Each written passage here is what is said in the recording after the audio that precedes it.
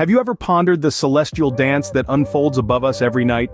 The moon, our closest cosmic companion, often steals the show with its bright luminescence. But what if I told you that there are other equally intriguing moon-like objects waiting to be discovered in our very own solar system? Firstly, let's clarify. When we talk about moon-like objects, we're referring to natural satellites or moons that orbit around planets other than Earth. These celestial bodies vary in size, composition, and even behavior yet they all share a certain kinship with our moon. Take Europa for instance. This moon of Jupiter is encased in a thick shell of ice, beneath which lies a subsurface ocean. Scientists speculate that this hidden sea could potentially harbor life, making Europa a tantalizing target for future exploration. Then there's Titan, the largest moon of Saturn. Titan stands out due to its dense atmosphere, composed primarily of nitrogen, quite like our own.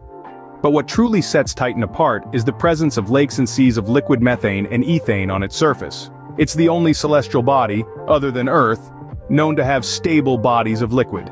Next we have Io, another moon of Jupiter. Io is a hotbed of volcanic activity, its surface covered in sulfur and dotted with hundreds of volcanic vents. This makes it one of the most volcanically active bodies in our solar system. The constant reshaping of its surface due to volcanic eruptions adds to its intrigue. Lastly, let's consider Enceladus, a small icy moon of Saturn.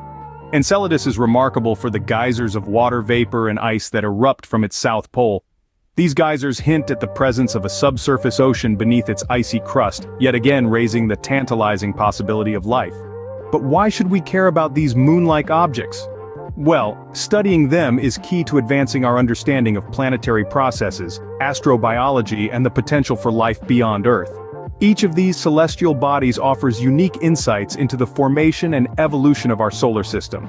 Exploring these worlds not only helps us unravel the mysteries of our cosmic neighborhood, but also provides valuable information for future space exploration and the search for extraterrestrial life. In conclusion, the moon-like objects in our solar system are as diverse as they are captivating. From icy bodies like Europa and Enceladus to geologically active ones like Io, each offers a unique window into the vast complexities of our universe.